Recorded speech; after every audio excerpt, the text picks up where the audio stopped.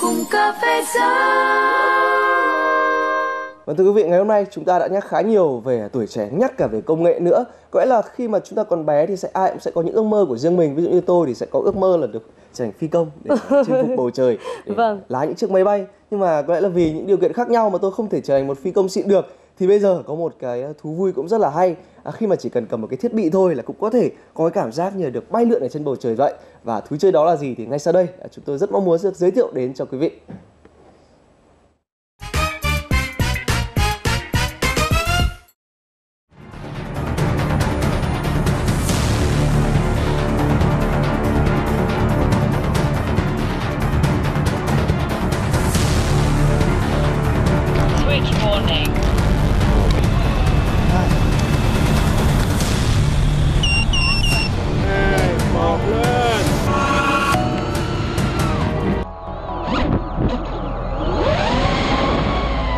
Racing drone là một bộ môn mà người ta sẽ ráp máy bay lại rồi đua với nhau. và tùy theo cái mục đích họ sẽ ráp cái máy bay mà với những cái phụ kiện thích hợp Ví dụ như là họ muốn một con máy bay chịu được tai nạn nhiều lần để họ tập cần độ bền thì họ sẽ ráp theo một kiểu riêng.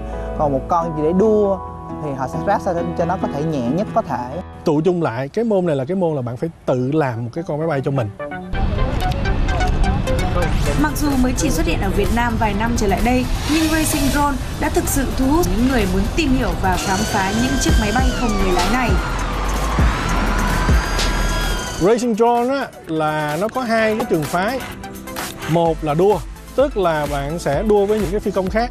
Thì thường là một lần đua họ sẽ bay khoảng từ 4 cho tới 6 chiếc khi mà đua thì sẽ có setup cái cổng cờ thì nó sẽ giống như là một cái đường ờ, đua ờ, CF1 gì đó. Thì người chơi sẽ vượt qua những chướng ngại vật đó và sẽ tính cái số lần mà bay qua được. Thì ai về nhất thì sẽ thắng. Cái trường phái thứ hai là biểu diễn tự do. Nó không thiên về tốc độ mà nó thiên về kỹ năng lái. Với cái thể loại bay này thì họ có thể bay vòng quanh những cái chướng ngại vật như là cây cối nhà cửa chẳng hạn hoặc họ có thể nhào lộn trên không cái con máy bay mình á, thì trọng lượng của nó là từ 250 gram cho tới khoảng 500 gram. Trong vòng một giây đồng hồ là tốc độ nó thể lên tới 100 km h hoặc là các bạn có thể bay tới 4 5 km xa khỏi các bạn để các bạn có thể nhìn ngắm những cái khung cảnh thật là đẹp.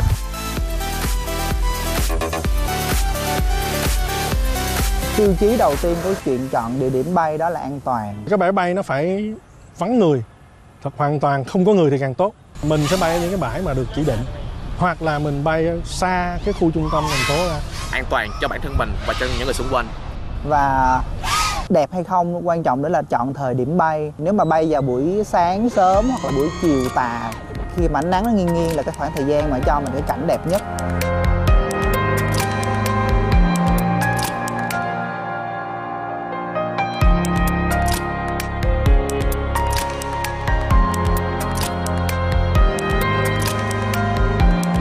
đối với những người ham mê mạo hiểm và tốc độ thì cái môn chơi này cực kỳ đã và an toàn tại vì cái máy bay mình đã bay mình đâu ngồi trên đó đâu.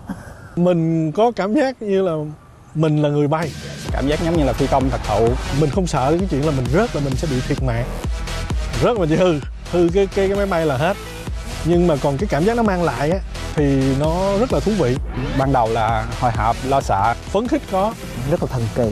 Bạn không chơi thì thôi nhưng mà đã một lần bạn cất cánh lên rồi bạn bay một vòng rồi bạn được cái cảm giác mà một mình mình mình bay lượn trên trời rồi.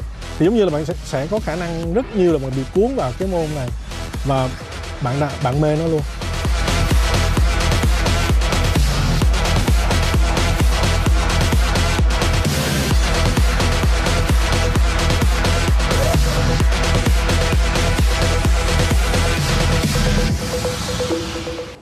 Vâng, quả thật là một uh, thú chơi có lẽ là cũng sẽ phải đòi hỏi chúng ta phải tìm hiểu này cũng như là phải đầu tư cả về công sức cả về tiền bạc. Nhưng mà rõ ràng hình ảnh của chúng ta thu nhận được những cái trải nghiệm mà chúng ta có khi tham gia vào tôi nghĩ rằng là là một điều vô giá và thực sự là một cái ờ, thú chơi rất là đáng để xứng đáng chúng ta có thể bỏ công sức ra để tìm hiểu Vâng. và để chơi đấy ạ. anh đang bình bán trên phương diện vì anh là một người đàn ông đúng không À, ạ? vâng, đương Tôi thấy đàn rồi. ông các anh thì thường có những cái ước mơ không hiểu tại sao mà cứ muốn bay lên thật cao rồi bay đi thật xa, à, xa những người phụ nữ của mình và như anh nói đấy thú chơi vừa rồi nó rất là tốn kém đúng không ạ? Vâng. Ờ, theo một cái khảo sát vui thôi ạ, quân có biết không về cái sự khác biệt giữa nhu cầu của đàn ông và phụ nữ?